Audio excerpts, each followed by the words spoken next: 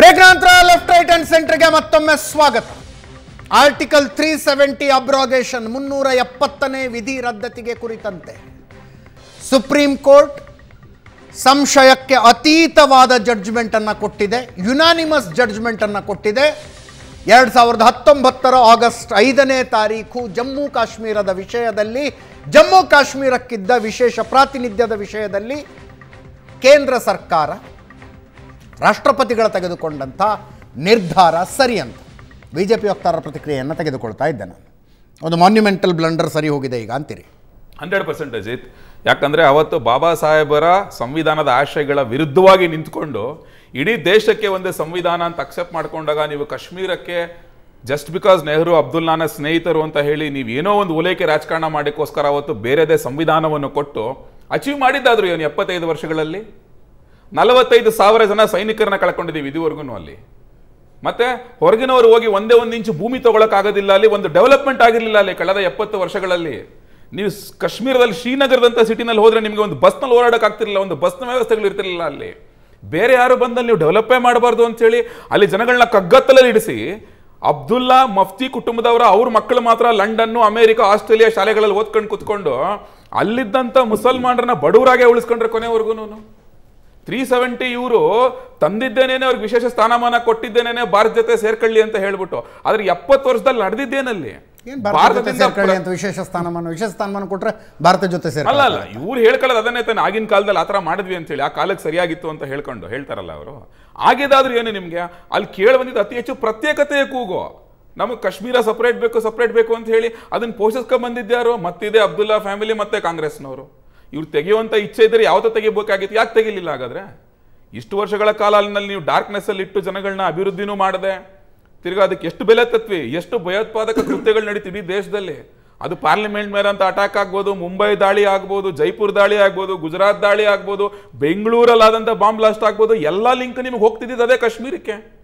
ಯಾಕಂತಂದ್ರೆ ಅಲ್ಲಿ ನಿಮಗೆ ಒಂದು ಕೇಂದ್ರ ಸರ್ಕಾರದ ಆಗ್ಬೋದು ಅಥವಾ ಬೇರೆಯವರಾಗ್ಬೋದು ಆಗ್ಬೋದು ನಿಮ್ಗೆ ಒಂದು ಹೋಲ್ಡೇ ಇಲ್ಲ ಅಂತ ಹೇಳಿ ಅವ್ರು ವಿಶೇಷವಾದಂಥ ಒಂದು ಸ್ಥಾನಮಾನ ತಗೊಂಡು ಅವ್ರಿಗೆ ಇಷ್ಟ ಬಂದಂತೆ ಅವರು ಭಯೋತ್ಪಾದಕರನ್ನ ಪೋಷಣೆ ಮಾಡ್ಕೊಂಡು ಓದಿದಕ್ಕೆ ತಾನೇ ಇವತ್ತು ದೇಶ ಈ ಬೆಲೆ ತತ್ತೆ ಅಂತ ಬಂದಿದ್ದು?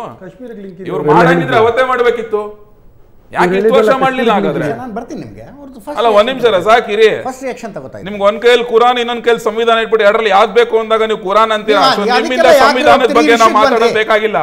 ಮೋಹನ್ ಈ ವಿಷಯಕ್ಕೆ ಬನ್ನಿ. ನೋ ನಾ ಮಧ್ಯದಲ್ಲಿ ಮಾತಾಡಬಾರ್ದು ಈ ವಿಷಯಕ್ಕೆ ಬನ್ನಿ ಈ ವಿಷಯಕ್ಕೆ ಬನ್ನಿ. ಇಟ್ಸ್ ಯುವರ್ ಟೈಮ್ ಸೊ ನಾನು ಹೇಳ್ತಿರೋದು ಇಷ್ಟೇ ಅಜಿ ನೋಡಿ ಇದು ಒಂದು ಟೆಂಪರರಿ ಪ್ರಾವಿಷನ್ಸ್ ಅಂತ ಇವರು ಗೊತ್ತಿದ್ರೂ ಸಹ ಯಾಕೆ ತೆಗಿಲಿಲ್ಲ ಅಂತ ಹೇಳಿದ್ರೆ ಓಲೈಕೆ ರಾಜಕಾರಣ ಅಷ್ಟೇ. ನೀವು ಕಾಶ್ಮೀರವನ್ನ ತೋರಿಸ್ಕೊಂಡು ಭಾರತದಲ್ಲಿ ಬೇರೆಯವ್ರನ್ನೆಲ್ಲ ಓಲೈಕೆ ಮಾಡ್ಕೊಂತ ಬಂದ್ರಿ? ಪ್ರತಿಯೊಂದು ರಾಜ್ಯದಲ್ಲೂ ಅಲ್ಲಿ ಏನು ಮಾಡಿದ್ರಿ ಕೊನೆಗೆ ಅಂದ್ರೆ ಏನೂ ಮಾಡಲಿಲ್ಲ ಅಲ್ಲಿ.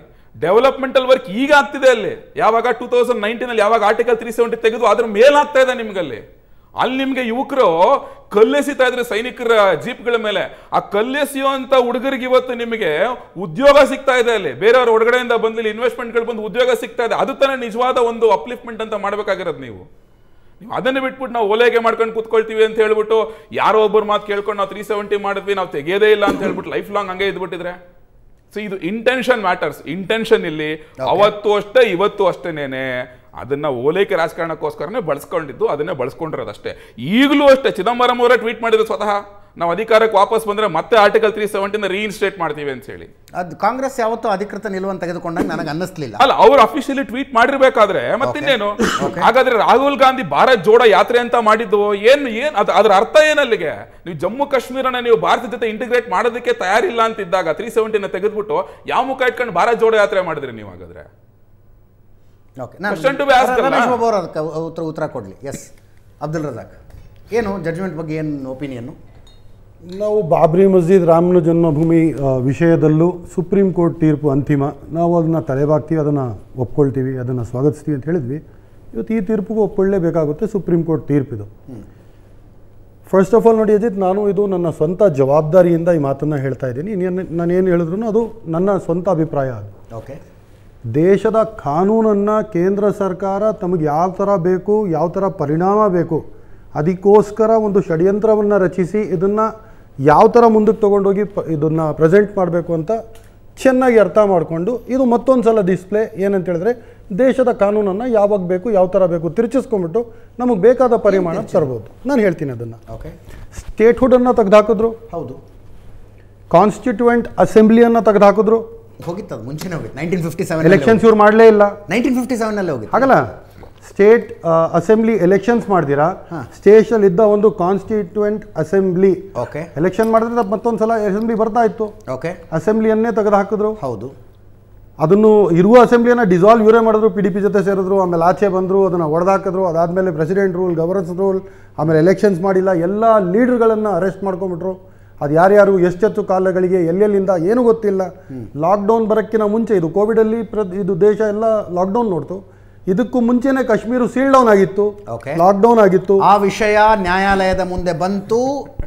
ಇರ್ಲಿ ಇರ್ಲಿ ಇರ್ಲಿ ಇರ್ಲಿ. ನಾನು ಹೇಳ್ತಾ ಇರೋದು ಷಡ್ಯಂತ್ರದಲ್ಲಿ ಏನೇನು ನಡೀತು ಹೆಂಗ್ ಹೆಂಗ್ ನಡೀತು ಅದನ್ನ ನಿಮ್ಮ ಮುಂದೆ ಇಡ್ತಾ ಇದ್ದೀನಿ. ಒನ್ ಫಾರ್ಟಿ ಫೋರ್ ಸೆಕ್ಷನ್ ಅನ್ನ ಪ್ರತಿಯೊಂದು ಏರಿಯಾದಲ್ಲಿ ಸೊಂಡಿ ಬೀದಿಗಳಲ್ಲಿ ಹಾಕಿದ್ರು. ಹೌದು. ಹದಿಮೂರು ಸಾವಿರಕ್ಕೂ ಹೆಚ್ಚು ಯುವಕರನ್ನ ಜೈಲಲ್ಲಿ ಅರೆಸ್ಟ್ ಮಾಡಿ ಇಕ್ಕಿದ್ರು. ಇವತ್ತಿಗೂ ಆರು ಸಾವಿರದ ಏಳ್ನೂರ ಮೂವತ್ತೇಳು ಯುವಕರು ಜೈಲುಗಳಲ್ಲಿದ್ದಾರೆ. Okay internet ತೆಗೆದಾಕಿದ್ರು more than two two and half years internet ಇರಲಿಲ್ಲ. ಇವಾಗ ಸ್ಟೋನ್ ಪೆಲ್ಟಿಂಗ್ ಆಗಿಲ್ಲ ಮೈ ಲಾರ್ಡ್ ಕಾನೂನು ಸುವ್ಯವಸ್ಥೆ ಕಾಪಾಡಿದ್ದೀವಿ ಮೈ ಲಾರ್ಡ್ ಕಮಾನ್ ಅಲ್ಲಿ ಯುವಕರು ಇದ್ರೆ ತಾನೇ.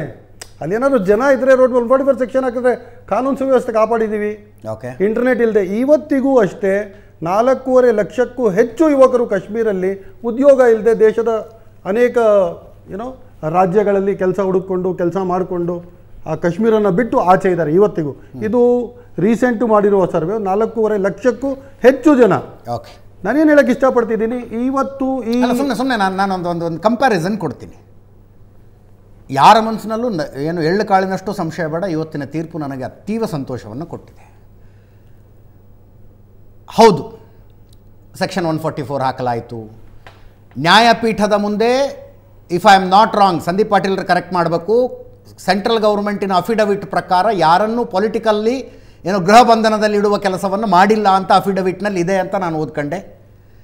ಇಟ್ಟರು ಅಂತಲೇ ಇಟ್ಕೊಳ್ಳಿ ಇವತ್ತು ಇದ್ದಾರೆ. ಕೆಲ ಕೆಲವರನ್ನ ಗೃಹ ಬಂಧನದಲ್ಲಿ ಇಡಲಾಯಿತು ಇನ್ನು ಕೆಲವರನ್ನ ಜೈಲಿನಲ್ಲಿ ಇಡಲಾಯಿತು. ಆಪರೇಷನ್ ಮಾಡೋದಕ್ಕಿಂತ ಮುಂಚೆ ಅನಸ್ತೇಷ್ಯ ಕೊಡಬೇಕಾಗತ್ತೆ. I accept. ಆಪರೇಷನ್ ಮಾಡೋದಕ್ಕಿಂತ ಮುಂಚೆ ಅನಸ್ತೇಷ್ಯ ಕೊಡಬೇಕಾಗತ್ತೆ ಕೊಡಲಾಯಿತು. ಅಲ್ಲ ಸ್ಟ್ರಾಟಜಿ ಷಡ್ಯಂತ್ರ ನೋಡಿ. ಮಾತಾಡಕ್ಕೆ ಬಿಜೆಪಿನವರಾಗ್ಲಿ ಬೇರೆಯವರಾಗ್ಲಿ ಕಾಶ್ಮೀರ ಅವಿಭಾಜ್ಯ ಅಂಗ ನಮ್ಮ ದೇಶದ ನಮ್ದು ಅಂತಾರೆ.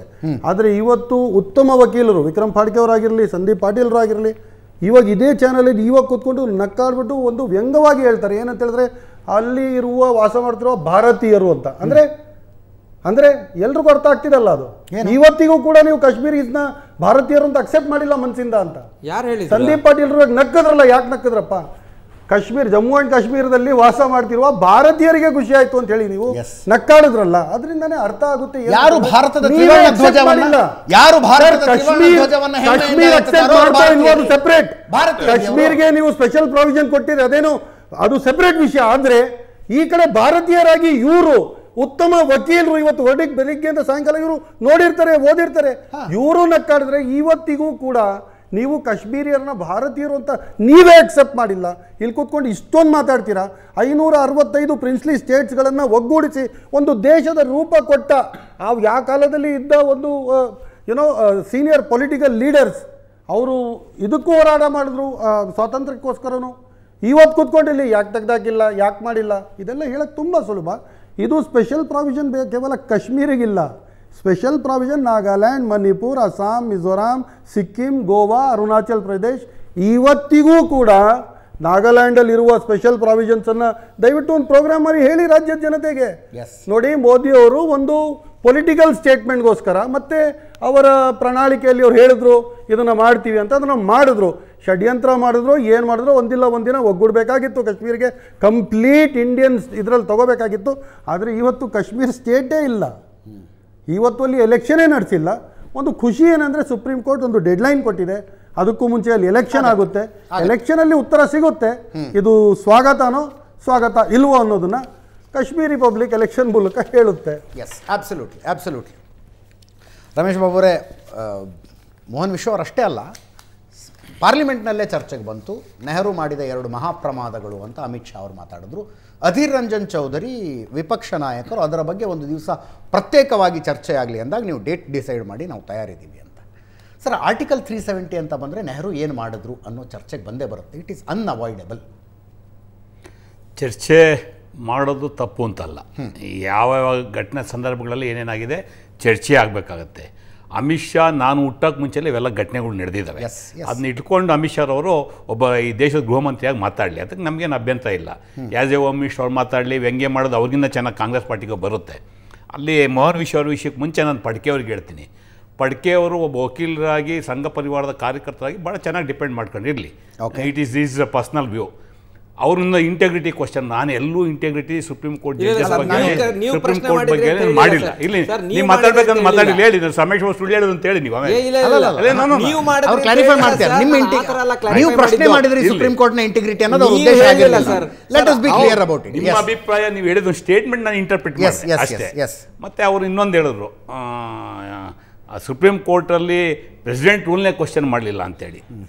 ಸಿ ಪಿ ಡಿ ಪಿ ಅಂದರೆ ಕಾಶ್ಮೀರದಲ್ಲಿ ಪಿ ಡಿ ಪಿ ಜೊತೆ ಬಿ ಜೆ ಪಿ ಸೇರಿಕೊಂಡು ಸರ್ಕಾರ ರಚನೆ ಮಾಡೋರು ಅವ್ರು ಕೊಟ್ಟಂಥ ಬೆಂಬಲವನ್ನು ವಿತ್ಡ್ರಾ ಮಾಡೋರು ವಿತ್ಡ್ರಾ ಮಾಡಿದ್ಮೇಲೆ ಇಂಡೆವಿಟಬಲಿ ಅಲ್ಲಿ ಪ್ರೆಸಿಡೆಂಟ್ ರೂಲ್ ಬಂತು. ಅಲ್ಲಿ ಪ್ರೆಸಿಡೆಂಟ್ ರೂಲ್ನ ಕ್ವಶನ್ ಮಾಡೋಂಥ ಸಂದರ್ಭನೇ ಇಲ್ಲ ಇಲ್ಲಿ ಆ್ಯಸ್ ಆ್ಯಂಡ್ ಕೂಡ. ಇದೇ ಜಜ್ಮೆಂಟಲ್ಲಿ ಬೊಂಬೈ ಕೇಸ್ನ ಇಂಟರ್ಪ್ರಿಟ್ ಮಾಡಿದ್ದಾರೆ. ಸೊ ಈಗಾಗಲೇ there are several settled law and several judgements okay. President ಯಾವಾಗ ಇಂಟರ್ಫೇರ್ ಮಾಡ್ಬೋದು ಗವರ್ನರ್ ಪವರ್ಸ್ ಏನು ಪ್ರೆಸಿಡೆಂಟ್ ಪವರ್ಸ್ ಏನು ಅವೆಲ್ಲ ಇಟ್ ಈಸ್ ಡಿಫ್ರೆಂಟ್ ಬಟ್ ಇವತ್ತಿನ ಪ್ರಶ್ನೆ ಇರ್ತಕ್ಕಂಥದ್ದು ತ್ರೀ ಸೆವೆಂಟಿ ಏನು ತೆಗೆದ್ರು ಸೆಂಟ್ರಲ್ ಗೌರ್ಮೆಂಟು ಅಸೈನ್ ಅಲ್ವ ಅಂತೇಳಿ ಭಾಳ ಜನ ಕ್ವಶನ್ ಮಾಡಿದ್ರು. ಅದ್ರ ಮೇಲೆ ಒಪಿನಿಯನ್ ಬಂದಿದೆ, ಅವ್ರ ಒಪಿನಿಯನ್ ಕೊಟ್ಟಿದ್ದಾರೆ. Supreme court judgement five sitting judges ಕೊಟ್ಟಿರ್ತಕ್ಕಂಥ constitutional bench we have to review ಮುನ್ ನಾನ್ನೂರ ಎಪ್ಪತ್ತಾರು ಪುಟದ ಜಜ್ಮೆಂಟ್ ಬಂದಿದೆ. We have to accept and we have to review ಅದರಲ್ಲಿ ಏನಾಗಿದೆ? ತಪ್ಪುಗಳು ಇದೆಯಾ? ಸರಿ ಇದೆಯಾ? ಆಮೇಲೆ ಮತ್ತೆ ಪಾರ್ಲಿಮೆಂಟಲ್ಲಿ ಚರ್ಚೆ ಮಾಡೋಂಥವ್ರು ಅದೆಲ್ಲ ಪಕ್ಷದ ತೀರ್ಮಾನ ಮತ್ತೆ ತಗೋತಾರೆ A I C C so far A I C ಸಿಯಿಂದ ನಮ್ಗೆ ಏನಾದ್ರಲ್ಲಿ ಮಾಹಿತಿ ಬಂದಿಲ್ಲ ಅಲ್ಲ ಈ ಜಜ್ಮೆಂಟ್ ಬಗ್ಗೆ. ನಿಮ್ಮ ಐ ಎನ್ ಡಿ ಎ ಮೈತ್ರಿಕೂಟದ ಮಿತ್ರ ಪಕ್ಷಗಳು ಉಮರ್ ಅಬ್ದುಲ್ಲಾ ಹೇಳ್ತಾರೆ ನಿರಾಶೆ ಆದರೂ ನಿರಾಸೆ ಆಗಲಿಲ್ಲ ಹೋರಾಟ ಮುಂದುವರಿಯುತ್ತೆ ನಾವು ದೀರ್ಘಾವಧಿ ಹೋರಾಟಕ್ಕೆ ಸಿದ್ಧರಾಗಿದ್ದೀವಿ ಇಲ್ಲ ಈಗ ನಮ್ಮ ನಿಮ್ದು ಒಪಿನಿಯನ್ ಅದೇನಾ? ಮೆಹಬೂಬಾ ಮುಫ್ತಿ ಹೇಳ್ತಾರೆ ಜಮ್ಮು ಕಾಶ್ಮೀರ ಜನರು ಯಾವತ್ತಿಗೂ ಭರವಸೆ ಕಳ್ಕೊಳ್ಳೋದು ಯಾರು ಯಾರು ಹೇಳಿದ್ದದು? ಮೆಹಬೂಬಾ ಮುಫ್ತಿ. ಎಲ್ಲಿದ್ರು ಅವ್ರು ಮುಂಚೆ ಅವರು? ಬಿಜೆಪಿ ಜೊತೆ ನೋಡಿ ಅಲ್ಲ ಅಲ್ಲ ನೋಡಿ it is not the issue ನೀವು ಹೇಳ್ತಾ ಇರ್ತಕ್ಕ ಇಂಡಿಯಾ ಉಮರ್ ಅಬ್ದುಲ್ಲಾನು ನಿಮಿಷ ಇದ್ರು ಸರ್. ಇಂಡಿಯಾ ಜೊತೆ ವಾಜಪೇಯಿ ಅವರ cabinet ನಲ್ಲಿ minister ಅವರು. ಇಂಡಿಯಾ ಇಂಡಿಯಾ ಜೊತೆ ಇರ್ತಕ್ಕಂಥ ಎಲ್ಲ ಪಾರ್ಟಿಗಳಿಗೂ ಈ ನಾನು ರಿಯಾಕ್ಟ್ ಮಾಡ್ಬೇಕಂತ ಇಲ್ಲ. ನಮ್ಮ party stand is very clear ಇನ್ನ ನಮ್ಮ ಪಕ್ಷದ ನಾಯಕರು ಇದ್ರ ಬಗ್ಗೆ ಏನಂತ ತಮ್ಮ ಅಭಿಪ್ರಾಯವನ್ನು ಕೊಟ್ಟಿಲ್ಲ. ಕೊಟ್ಟ ಮೇಲೆ ಮಾತಾಡ್ತೀವಿ. ಇವತ್ತೇನೆ ಫಸ್ಟ್ ಆ್ಯಂಡ್ ಫೈನಲ್ ಅಲ್ಲ. ಅವಕಾಶ ಇದೆ ಮಾತಾಡೋಣ. ಪಾರ್ಲಿಮೆಂಟು ಅಫ್ಕೋರ್ಸ್ ನಡೀತಾ ಇರಬೇಕು. ಅಲ್ಲೂ ಚರ್ಚೆ ಆಗುತ್ತೆ ಅದಿರಲಿ. ಒಂದಂತೂ ನಾನು ಫಸ್ಟ್ ವೆರಿ ಬಿಗಿನಿಂಗ್ ಹೇಳಿದೆ. It is a settled law supreme court judgement ಬಂದಂಥ ಸಂದರ್ಭದಲ್ಲಿ ವಿ ಟು ಅಕ್ಸೆಪ್ಟ್ ಗೌರವ ಕೊಡುವಂಥದ್ದು. ಆಮೇಲೆ ಅದು ಮೆರಿಟು ಡಿಮೆರಿಟು ಅವೆಲ್ಲ ನಂತರ. ಮತ್ತೆ ಸುಪ್ರೀಂ ಕೋರ್ಟ್ ಜಜ್ಮೆಂಟ್ ಬಂದ್ಬಿಟ್ಟಿದೆ ವಿಮರ್ಶೆ ಮಾಡಬಾರ್ದ? ನೋ ವಿಮರ್ಶೆ ಮಾಡೋಕ್ಕೆ ಅವಕಾಶ ಇದೆ. ಖಂಡಿತ ವಿಮರ್ಶೆ ಮಾಡಿ. ಯಾವುದೇ ಜಜ್ಮೆಂಟಲ್ಲಿ ವಿಮರ್ಶೆ ಮಾಡೋಕ್ಕೆ ಅವಕಾಶ ಇದೆ. ಅದ್ರ ಮಟ್ಟಿಗೆ ನಾನು ಹೇಳ್ತೀನಿ. ನೋಡಿದ್ದು ನಾನು ಪಡ್ಕೆ ಬಿಡ್ತೀನಿ. ಪಾಪ ಡಿಪೆಂಡ್ ಮಾಡಿ. ಶ್ಯಾಮ್ ಪ್ರಕಾಶ್ ಮುಖರ್ಜಿ ಹೆಸರೆಲ್ಲ ತಂದರು. ಅವ್ರು ಹೆಂಗೆ ಹೋರಾಟ ಆದರು? ಎಲ್ರಿಗೂ ಗೊತ್ತಿದೆ. ಅದ್ರದ್ದು ಆವತ್ತು ಅಸೆಂಬ್ಲಿನಲ್ಲಿ ಏನಾಯಿತು ಎಲ್ಲೆಲ್ಲಿ ಚರ್ಚೆ ಆಯಿತು ಅವರೇ ಸೆಂಟ್ರಲ್ ಗೌರ್ಮೆಂಟ್ ಮಿನಿಸ್ಟರ್ ಇದ್ರು ಅವಾಗ ಯಾಕೆ ಸುಮ್ಮನೆ ಇದ್ರು ಅವೆಲ್ಲ ಪ್ರಶ್ನೆ ಇದೆ. ಕೊಟ್ಟು ಬಂದ್ರು. ಶ್ಯಾಮಪ್ರಸಾದ್ ಮುಖರ್ಜಿ ಸುಮ್ಮನೆ ಸುಮ್ಮನೆ ಗೌರ್ಮೆಂಟ್ ಬಂದ್ರು. ಒಂದು ನಿಮಿಷ ಪಡ್ಕೆ ಅವರೇ ನನಗೂ ಸ್ವಲ್ಪ ಇತಿಹಾಸ ಗೊತ್ತಿದೆ. ರಾಜೀನಾಮೆ ಕೊಟ್ಟು ಆಮೇಲೆ ಬಂದರು. ಒಳಿಕೆ ಬರಲ್ಲ ಅಂತ ಹೇಳ್ಬೇಕಾಯ್ತು. ನೆಹರು ನೆಹರು ಕ್ಯಾಬಿನೆಟ್ಗೆ ಯಾಕೆ ಹೋದ್ರು? If he so committed why joined the Nehru cabinet sir ಅವ್ರನ್ನ ಜೈಲ್ಗೆ ಹಾಕ್ಸಿದ್ ಯಾರು ಸರ್ ಈಗ ಒಂದ್ ನಿಮಿಷ ಒಂದ್ ನಿಮಿಷ. ಸರ್ ಸರ್ ನನಗೆ ಗೊತ್ತಿಲ್ಲ. ಶ್ಯಾಮಪ್ರಸಾದ್ ಮುಖರ್ಜಿ ಅವ್ರ ವಿಷಯನೂ ಚರ್ಚೆ ಮಾಡೋಣ. ಬಟ್ ಆರ್ಟಿಕಲ್ ತ್ರೀ ಸೆವೆಂಟಿ ಅಂದ್ರೆ ನೆಹರು ಇನ್ನೆವಿಟಬಲಿ ಚರ್ಚೆಗೆ ಒಳಪಡ್ತಾರೆ. ನೆಹರು ಮಾಡಿದ ತಪ್ಪ. ಪ್ರಮಾದನ. ನಾವು ಬಳಸಲ ಹೇಳ್ತಾ ಇದೀವಿ. ಬಿಜೆಪಿಯವರು ಸತ್ಯವನ್ನ ತಿರ್ಚುವಂತ ಪ್ರಯತ್ನವನ್ನ ವ್ಯವಸ್ಥಿತವಾಗಿ ಮಾಡ್ತಾರೆ. ನೀವು ಸತ್ಯ ಒಂದು ನಿಮಿಷ ಹೇಳ್ತೀನಿ ಅದನ್ನ ಹೇಳ್ತಾ ಇದೀನಿ ಸರ್. ಅವಕಾಶ ಕೊಡಿ. ನಾವು ಮೂರು ಜನ ಬಿಜೆಪಿ ನೀವು ಒಂದು ಒಂದೇ ಲೈನಲ್ಲಿ ಉತ್ತರ ಕೊಡಿ ಅಂತಂದ್ರೆ ಆಗಲ್ಲ. ಗೊತ್ತಾಯ್ತಾ? ನನಗೆ ಗೊತ್ತಿದೆ. ನೈನ್ಟೀನ್ ತರ್ಟಿ ನೈನಲ್ಲಿ ಜಮ್ಮು ಜಮ್ಮು ಅಂಡ್ ಕಾಶ್ಮೀರ ಕಾನ್ಸ್ಟಿಟ್ಯೂಷನ್ ಮಾಡಿದಾಗ ನೆಹರು ಇದ್ದ? ಇಲ್ಲ. ಯಾವ ಸರ್ಕಾರ ಇತ್ತು? 1939. Nineteen thirty nine okay oh Nehru ಇದ್ರಾ? ಇಲ್ಲ. ಮತ್ತೆ ಇಂಡಿಯನ್ ಇಂಡಿಪೆಂಡೆನ್ಸ್ ಆ್ಯಕ್ಟ್ ಓಕೆ ಆದಾಗ ಯಾರಿದ್ರು? ಸಿ ಬ್ರಿಟಿಷ್ ಸರ್ಕಾರದಲ್ಲಿ ಇದ್ದಂಥದ್ದು ಇಟ್ ಈಸ್ ಇನ್ನು ಸಿ ಜಜ್ಮೆಂಟಲ್ ಅಬ್ಸರ್ವೇಷನ್ ಇದೆ. ನಮ್ದಲ್ಲ ಅದು. ಮೌಂಟ್ ಬ್ಯಾಟನ್ ಏನು ಗೇಮ್ ಪ್ಲ್ಯಾನ್ ಮಾಡಿದ್ರು? ಏನೇನು ಒತ್ತಡ ಮಾಡಿದ್ರು? ಯಾವ ರೀತಿ ಅವ್ರನ್ನ ಉಪಯೋಗಿಸ್ಕೊಂಡ್ರು? ಕಾಶ್ಮೀರ ಇಡೀ ಕಾಶ್ಮೀರ ಪಾಕಿಸ್ತಾನಕ್ಕೆ ಹೋಗೋದಕ್ಕೆ ಇಟ್ ವಾಸ್ ಎ ಕಾನ್ಸ್ಪಿರಸಿ ಆ ಕಾನ್ಸ್ಪಿರಸಿ ಓವರ್ಲುಕ್ ಮಾಡಿ ನೆಹರೂರವರು ಪಟೇಲ್ಗೆ ಮಾತಾಡಿ ಇಮಿಡಿಯೇಟ್ಲಿ ಯಾವ ಟು ಅಂತೇಳಿ ಫಸ್ಟ್ ರಿಯಾಕ್ಟ್ ಮಾಡಿದೆ ನೆಹರೂರವರು. ಆವತ್ತಿನ ಸಂದರ್ಭಕ್ಕೆ ಅಲ್ಲಿದ್ದಂಥ ಒತ್ತಡಗಳಿಗೆ ಅವ್ರನ್ನ ಬ್ರಿಟಿಷ್ ತಂತ್ರಗಾರಿಕೆಯನ್ನು ವಿಫಲ ಮಾಡೋದಕ್ಕೆ ಏನು ಸ್ಟೆಪ್ ಬೇಕೋ ಅವತ್ತು ತಗೊಂಡಿದ್ದಾರೆ. ಅಫ್ಕೋರ್ಸ್ ಒಂದು ಕ್ವಶನ್ ಇದೆ. ಇವತ್ತಿನವ್ರಿಗೆ ಯಾಕೆ ತೆಗ್ದಿಲ್ಲ? ಅವೆಲ್ಲ ಚರ್ಚೆ ಆಗ್ತಾ ಇರ್ತಕ್ಕಂಥದ್ದು. ಇವ- ಇವತ್ತಿನ ಹೊಸ ಚರ್ಚೆ ಅಲ್ಲ ಅದು. ಸಾವಿರದ ಒಂಬೈನೂರ ನಲವತ್ತೇಳರಲ್ಲಿ ಸ್ವತಂತ್ರ ಬಂದಾಗಲಿಂದ ಇಲ್ಲಿವರೆಗೆ ಪಾರ್ಲಿಮೆಂಟಲ್ಲಿ ಚರ್ಚೆ ಆಗಿದೆ. ವಾಜಪೇಯಿರವ್ರು ಮಾತಾಡಿದ್ದಾರೆ ಎಲ್ ಕೆ ಅದ್ವಾನಿರವ್ರು ಮಾತಾಡಿದ್ದಾರೆ ಶ್ಯಾಮ್ ಪ್ರಕಾಶ್ ಮುಖರ್ಜಿಯವರು ಮಾತಾಡಿದ್ದಾರೆ. It's all on record. ಅದು ಪ್ರಶ್ನೆ ಬೇರೆ ಇವತ್ತು ಕೋರ್ಟ್ ಜಜ್ಮೆಂಟ್ ಬಂದಿದೆ ವಿ ಹ್ಯಾವ್ ಟು ಅಕ್ಸೆಪ್ಟ್. ಅದನ್ನ ನಾನು ಡಿಸ್ಪ್ಯೂಟ್ ಮಾಡಕ್ಕೆ ಹೋಗ್ತಾ ಇಲ್ಲ. ರಾಷ್ಟ್ರೀಯ ಪಕ್ಷವಾಗಿ ಎರಡು ಸಾವಿರದ ಹತ್ತೊಂಬತ್ತರಲ್ಲಿ ಬಿ ಜೆ ಪಿ ಈ ಒಂದು ಆಗಸ್ಟ್ ಐದಕ್ಕೆ ಈ ಒಂದು ಬಿಲ್ಲನ್ನು ಪಾರ್ಲಿಮೆಂಟಲ್ಲಿ ತಂದು ಪಾಸ್ ಮಾಡ್ಕೊಳ್ತು. ಕಳೆದ ಮೂರು ವರ್ಷಗಳಲ್ಲಿ ಒಂದು ರಾಷ್ಟ್ರ ಮೂರ್ನಾಲ್ಕು ವರ್ಷಗಳಲ್ಲಿ ರಾಷ್ಟ್ರೀಯ ಪಕ್ಷವಾಗಿ ಕಾಂಗ್ರೆಸ್ನ ಸ್ಟ್ಯಾಂಡ್ ಏನಿದ್ರ ಬಗ್ಗೆ? ಮುನ್ನೂರ ಎಪ್ಪತ್ತನ್ನು ನಾವು ತಂದ್ವಿ ತಪ್ಪು ಮಾಡಿದ್ವಿ ಅಂತನಾ? ಅಥವಾ ಮುನ್ನೂರ ಎಪ್ಪತ್ತನ್ನು ಪಂಡಿತ್ ನೆಹರು ತಂದರು ಪರಿಸ್ಥಿತಿ ಬೇರೆ ಇತ್ತು ಅದರ ನಂತರ ನಾವು ಯಾಕೆ ಬದಲಾಯಿಸಲಿಲ್ಲ ಅಂತಕ್ಕಂಥ ಉತ್ತರವನ್ನು ಕಾಂಗ್ರೆಸ್ ದೇಶಕ್ಕೆ ನೀಡಬೇಕಲ್ವಾ? ಅಥವಾ ಅಬ್ರಾಗೇಟ್ ಮಾಡಿದ್ದೇ ತಪ್ಪು ನಾವು ಬಂದ್ರೆ ವಾಪಸ್ ತರ್ತೀವಿ. ನೀವು ಎರಡು ಸಾವಿರದ ಹದಿನೈದು ಕೋಟ್ ಮಾಡ್ತಾ ಇದ್ದೀರಾ? You are the serious and seasoned journalist ಸಾವಿರದ ಒಂಬೈನೂರ ನಲವತ್ತೇಳರಿಂದ ಈವನ್ ಟುಡೇ ಪಾರ್ಲಿಮೆಂಟಲ್ಲಿ ಚರ್ಚೆ ಆಗಿದೆ. ಕಾಂಗ್ರೆಸ್ ಸ್ಟ್ಯಾಂಡ್ ಏನು, ಕಾಂಗ್ರೆಸ್ ಏನು ಮಾಡ್ತು, ಏನಕ್ಕೆ ಇದು ತ್ರೀ ಸೆವೆಂಟಿ ಇಂಟ್ರೊಡ್ಯೂಸ್ ಆಯಿತು, ಮತ್ತು ಏನಕ್ಕೆ ಇಂಟರ್ನ್ಯಾಷನಲ್ ಇಶ್ಯೂ ಆಯಿತು, ಪಾಕಿಸ್ತಾನ ಏನು ಮಾಡ್ತು, ಪಾಕಿಸ್ತಾನ ಹಾಕ್ಬಿಟ್ಟು ಕಾಶ್ಮೀರ ಏನಕ್ಕೆ ಬಂತು, ಇವೆಲ್ಲ ಚರ್ಚೆ ಆಗಿದೆ. ಚೈನಾ ಏನಕ್ಕೆ ಅಲ್ಲಿ ಆಕ್ಯುಪೈ ಮಾಡ್ಕೊಂಡಿದೆ, ಅಲ್ಲಿ ಬಾರ್ಡ್ರಲ್ಲಿ ಸಿ ನಮಗೆ not only Jammu and Kashmir, Nepal ಇರ್ಬೋದು, ಬಾಂಗ್ಲಾದೇಶ್ ಇರ್ಬೋದು, ಶ್ರೀಲಂಕಾ ಇರ್ಬೋದು ದೇರ್ ಆರ್ ಸೆವರಲ್ ಇಶ್ಯೂಸ್ ಆಗ ಈಗ ನನ್ನ ಸ್ನೇಹಿತರು ಹೇಳ್ದಂಗೆ ನಾರ್ತ್ ಈಸ್ಟ್ ಕಂಟ್ರೀಸ್ಗೆ ಅಲ್ಲಿ ಏನು ಪ್ರೊವಿಷನ್ ಕೊಟ್ಟಿದ್ದೀವಿ, ಇವೆಲ್ಲ ಇಶ್ಯೂಸ್ ಇದೆ, ಇಲ್ಲ ಅಂತಲ್ಲ. ಬಟ್ ಆಯಾ ಸಂದರ್ಭಕ್ಕೆ ಆವತ್ತಿನ ಸಂದರ್ಭಕ್ಕೆ ಇದ್ದಂಥ ಒತ್ತಡ ಮತ್ತೊಂದು ಕಾರಣಕ್ಕೆ ಅವತ್ತು ನಿರ್ಧಾರಗಳು ತಗೊಂಡ್ರು. ಆವತ್ತು ಪಟೇಲ್ ಸರ್ದಾರ್ ಪಟೇಲ್ರವರು ನೆಹರೂರವರು ಈ ನಿರ್ಧಾರ ತಂಗದಲ್ಲೇ ಹೋಗಿದ್ದರೆ it would have been gone to the Pakistan ಅದು ಪರಿಸ್ಥಿತಿ. ಅವತ್ತು ಪಾಕಿಸ್ತಾನ ಸಪ್ರೇಟ್ ಎರಡು ಕಂಟ್ರಿ ಆಗಬೇಕು ಅಂತ ನಿಂತ್ಕೊಂಡವ್ರು ಯಾರು? ಸರ್ ಮಹಾರಾಜ ಹರಿ ಸಿ ನಾನು ಒಂದು ನಿಮಿಷ ಒಂದು ನಿಮಿಷ ನನ್ನ ಇಲ್ಲ ಇಲ್ಲ ನನ್ನ ಪ್ರಶ್ನೆ ಇದೆ ಇಲ್ಲ ಇಲ್ಲ ಇಲ್ಲ. ನಂದು ನಂದೊಂದು ಪ್ರಶ್ನೆಗೆ ಉತ್ತರ ಕೊಡಿ. ನಾ ಅಗ್ರಿ ನೀವು ಕೂಡ ಉತ್ತರ ನಾನು ಒಪ್ಕೋತೀನಿ. ಅವತ್ತು ಸಂಘ ಪರಿವಾರ ಏನಂತ ಇದ್ರೆ ಎರಡು ಕಂಟ್ರಿ ಆಗಬೇಕು ಪಾಕಿಸ್ತಾನ ಇಂಡಿಯಾ ಸಪ್ರೇಟ್ ಆಗಬೇಕು ಹಿಂದೂ ಕಂಟ್ರಿ ಆಗಿ ಬಂದಿರ್ಲಿಲ್ವಾ ನೋ ಸತ್ಯ ಹೇಳಿ ಪಾಪ ಬಿಜೆಪಿ ಇದಕ್ಕೆಲ್ಲ ನಗು ಬಂದ್ಬಿಡುತ್ತೆ. ಸತ್ಯ ಹೇಳಿದ್ರೆ ಸುಳ್ಳು ಹೇಳ್ತಾರೆ?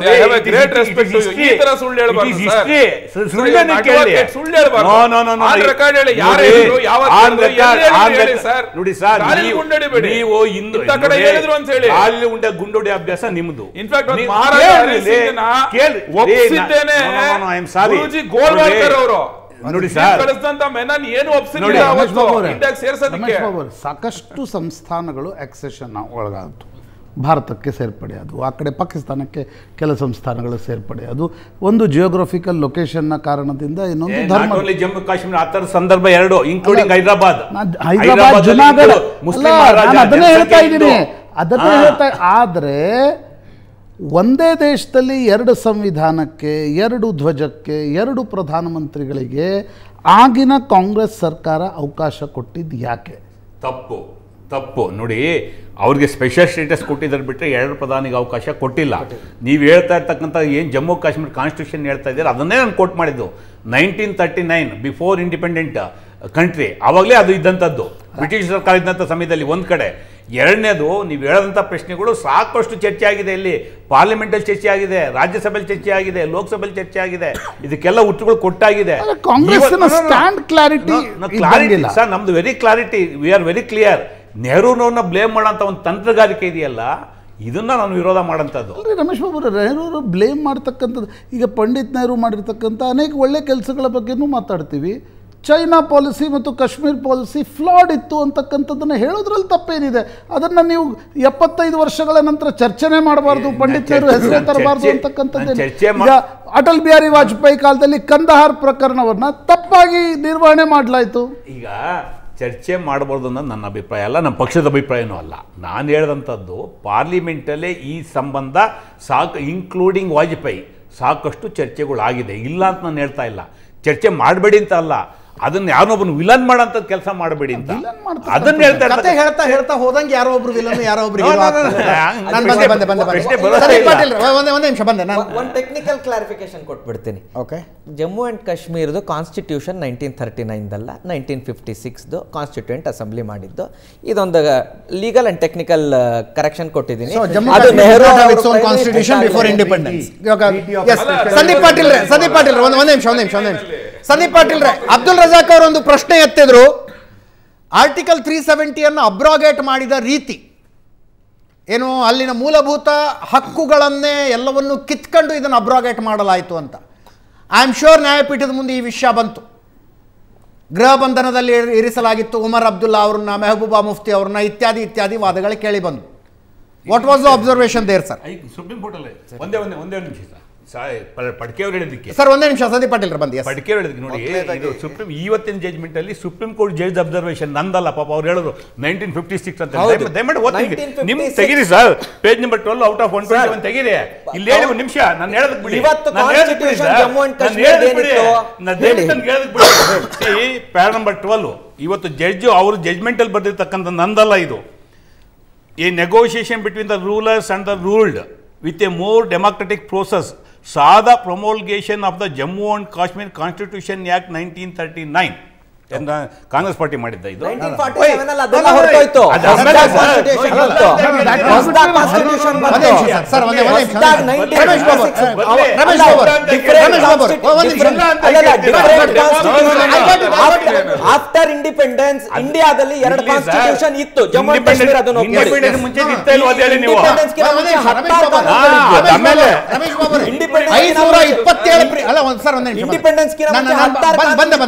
ರಮೇಶ್ ಬಾಬು ಐನೂರ ಇಪ್ಪತ್ತೇಳು ಪ್ರಿನ್ಸ್ಲಿ ಸ್ಟೇಟ್ಸ್ ಇದ್ದು ರೀ ಎಲ್ಲಾ ಸ್ಟೇಟ್ಗೂ ತಮ್ಮ ಕಾನ್ಸ್ಟಿಟ್ಯೂಷನ್ ಇರಬಹುದು ಒಂದು ಸಲ ಒಂದು ಸಲ ಅಕಾರ್ಡ್ ಆಫ್ ಅಕ್ಸೆಷನ್ಗೆ ಸೈನ್ ಹಾಕಿದ ಮೇಲೆ ಆ ಮುಂಚೆ ಇದ್ದಂತ ಎಲ್ಲಾ ಸಂವಿಧಾನಗಳು ನಲ್ ಅಂಡ್ ವೈಡ್ ಅದು ಆಫ್ ಕೋರ್ಸ್ ಅಲ್ವಾ? ಆಫ್ ಕೋರ್ಸ್ ಎಲ್ಲ ಜಮ್ಮು ಕಾಶ್ಮೀರ ಯಾವಾಗ ಆಗಿದ್ದು. ಐಒಎ ಆಗಿದ್ದು? ಅಜಿತ್ ಅಜಿತ್ one ಜಮ್ಮು ಕಾಶ್ಮೀರಕ್ಕೆ ಐಒಎ ಆಗಿದ್ದು ಯಾವಾಗ? ವೆನ್ ಮಹಾರಾಜ ಸೈನ್ಡ್ ನಾನು ಹೇಳ್ದಂಥದ್ದು ಇದೇನು ಇವ್ರು ಕೋಟ್ ಮಾಡ್ತಾ ಇದ್ದೀರಾ? ನೆಹರೂರವ್ರು ಬರಕ್ ಮುಂಚೆಲ್ಲ ಇತ್ತು ಅಂತ ಹೇಳಿದ್ ನಾನು ಅದು ಎಲ್ಲ ಬದಲಾವಣೆಗಳು ಆಗಿರ್ಬೋದು ಎಲ್ಲ ರಾಜ್ಯಗಳಲ್ಲಿ ಮೈಸೂರು ಹೇಳ್ತಾ ಇಲ್ಲ ನಾವು. ಸಂವಿಧಾನ ಎಲ್ಲ ಇತ್ತು. ಆಮೇಲೆ ಎಲ್ಲ ಬಂದಲ್ಲ. ಎಲ್ಲ ಅಲ್ಲಲ್ಲ, ಆಮೇಲೆ ಬಂದಲ್ಲ. ಅಲ್ಲ ಸ್ವಾತಂತ್ರ್ಯ ಬಂದ ಮೈಸೂರು ಮಹಾರಾಜರ ಸ್ವಾತಂತ್ರ್ಯ ಬಂದ ಮೇಲೆ- ಬಂದೆ. ಮೈಸೂರು ಮಹಾರಾಜ ಅಲ್ಲ ಸ್ವಾತಂತ್ರ್ಯ ವಕೀಲರು ಮತ್ತು ಶಾಸಕರಾದ ಪೊಣ್ಣನ್ನ ಪೊನ್ನಣ್ಣ ಅವರು ನಮ್ಮನ್ನ ಬೆಳಗಾವಿಯಿಂದ ಜಾಯ್ನ್ ಆಗಿದ್ದಾರೆ ಪೊನ್ನಣ್ಣ ಸರ್ ಕಾರ್ಯಕ್ರಮಕ್ಕೆ ಸ್ವಾಗತ ತಮಗೆ ಸಂದೀಪ್ ಪಾಟೀಲ್ರನ್ನ ಒಂದು ಕ್ವಶನ್ ಕೇಳ್ತಾ ಇದ್ದೆ. ಒಂದು ಸ್ವಲ್ಪ ಡೈವರ್ಟ್ ಆದ. ಸಂದೀಪ್ ಪಾಟೀಲ್ ನಾನು ಬರ್ತೀನಿ ತಮ್ಮ ಹತ್ರ ವಾಪಸ್ ಒಂದು ಸಣ್ಣ ಬ್ರೇಕ್ ಮುಗಿಸ್ಕೊಂಡು ವಾಪಸ್ ಬರ್ತೀನಿ.